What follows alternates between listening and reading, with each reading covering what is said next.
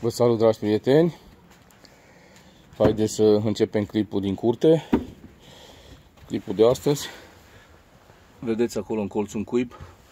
Ăsta e de două ore. La fel și aici jos un alt cuib mare și frumos, de două ore venit. Și acolo sus în colț un cuib de azi noapte. Deci toate, toate doicile au fătat. Astea sunt doici și colc uriaș. Femeile care trebuie să crească pui uriașilor, știți că eu folosesc doici. Și acesta e un cui cu uriaș. Deci sunt trei cuiburi noi, prieteni, de astăzi și de azi noapte. Clipul pe care o să-l facem astăzi este cu referire la faptul că sunt multe femele în țară care nu prind monta, stau la montă, dar nu rămân gestante. O să vorbim un pic despre asta la solicitarea unui abonat. Nu înainte de toate de vă ruga din nou să dați like la acest clip și la toate clipurile mele. Vă rog frumos să dați un like pentru că este foarte important pentru mine. Deci sunt patru cuiburi în curte, prieteni, un cuib înțărcat 5.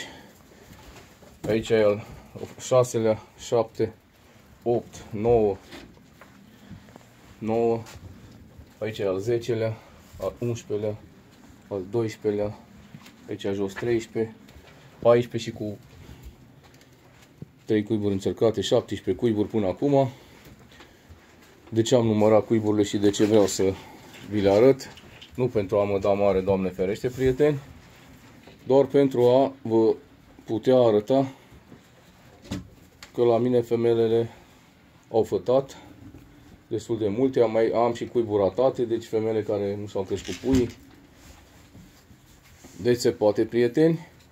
Ce trebuie făcut ca să avem un succes o rată a femeilor care rămân gestante destul de mare. Exclus poveștile care mi le-am auzit prin țară cu injecțiile, prieteni, că eu fac injecții la femele. Niciodată nu am făcut, nici nu am recomandat la unii dintre voi la care nu vă au rămas femelele gestante. V-am spus că ultima soluție ar fi ceva injecții din farmacie, injecții care se folosesc și la scroafe, la vaci și la alte animale, dar ultimă, ultimă instanță dacă nici cum nu reușiți. Până acolo, haideți să vedem ce putem face noi ca femelele noastre să rămână gestante. Deci una la mână, prieteni. Femelele să nu fie foarte, foarte tinere și să aibă vârsta și kilogramele conform standardului și rasei respective. Adică dacă avem o femelă de ureaș german, să aibă cel puțin 7 luni jumate minim, minim, dar normal ar trebui 8-10 luni, de la 8 luni în sus și să aibă peste 7 kg. Ca să eliminăm un factor care ne-ar putea împiedica ca femeia să rămână gestantă. Deci să aibă vârsta corespunzătoare și kilograme. Apoi, femeia nu trebuie să fie pe năpârlire, prieteni. Dacă năpârlesc femelele foarte tare, e un factor foarte mare de stres și nu prin monta. În cazul în care prin monta o să vedeți că fată 2-3 pui. Sunt cazuri în care au fătat și n-au avut lapte din cauza năpârlirii. Sunt și cazuri în care femelele au năpârlit și au mers cu bine pui. Dar, în majoritatea cazurilor, femelele care năpârlesc au șanse mai mici să rămână gestante.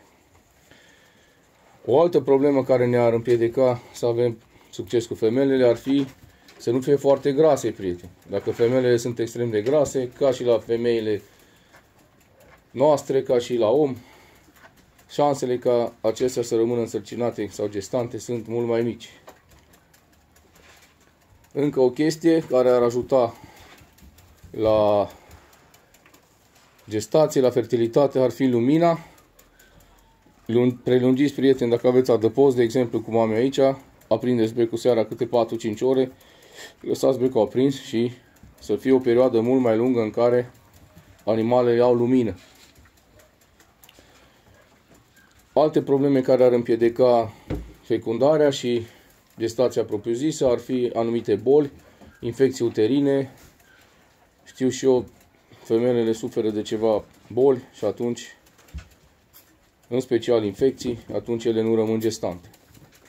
Eliminând, prieteni, toate aceste probleme, le facem, uh, le facem o deparazitare înainte de începerea sezonului de monte, cum v-am mai tot spus, o deparazitare bună, după care urmează o vitaminizare de minim 5-7 zile și dacă nu-s pe năpărlie, nu-s grase, nu și îndeplinesc condițiile, le putem monta mai apoi și eu zic că rata de succes ar fi mult mai mare. Există, există niște medicamente care ar ajuta la, la fertilitate, la fecundație, receptalul și sergonul. Sunt medicamente injectabile care se fac înainte și după montă. Sincer să fiu, dacă mă întrebați doza, nu știu exact, pentru că n-am făcut niciodată. Le știu că există, se mai folosesc în ferme, se mai folosesc la femelele care sub nicio formă nu rămân gestante.